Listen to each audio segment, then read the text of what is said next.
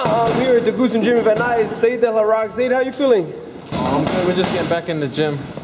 You know, I had an accident right after my last fight. I cut my finger, so I had to take some time off. I had to get 11 stitches. Oh, sorry to hear that. What Yeah. happened? I was hoping that one of my, I was helping uh, one of my clients in the kitchen, and um, I basically I cut it on a tuna can. I tried to lift the lid open, and it just went right through my hand. Those cans are dangerous. Yeah, you think? So yeah, it was a, it was a learning experience. So you're, you're good now? Everything's Yeah, I'm good now, you know what I'm saying? Like, uh, the stitches came out. It's still numb, tingles a little bit, but I'm okay to punch with it and everything. So, but it still feels weird. I think the nerves are inside the damaged, but it's still good. You know what I'm saying? Let's talk about this fight. September 14, Lucas Matthysse, Danny Garcia. Who do you like?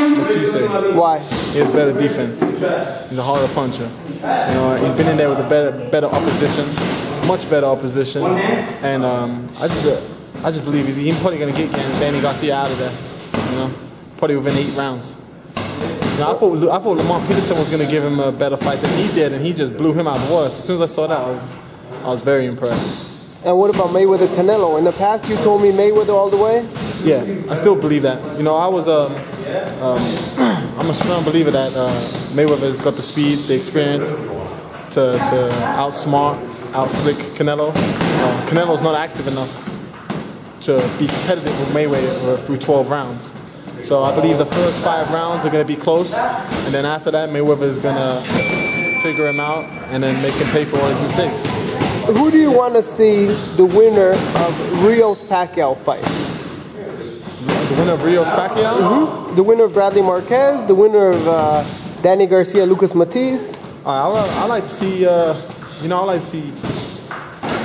All right, Rios Pacquiao. I mean, I hear. I, I like to see Marquez maybe go against Matthysse. You know what I'm saying? Because Marquez never been knocked out, and I don't think he's ever had anyone put pressure on him like Matthysse will put. So you say pressure on. Ma- Matthysse knocks out Marquez?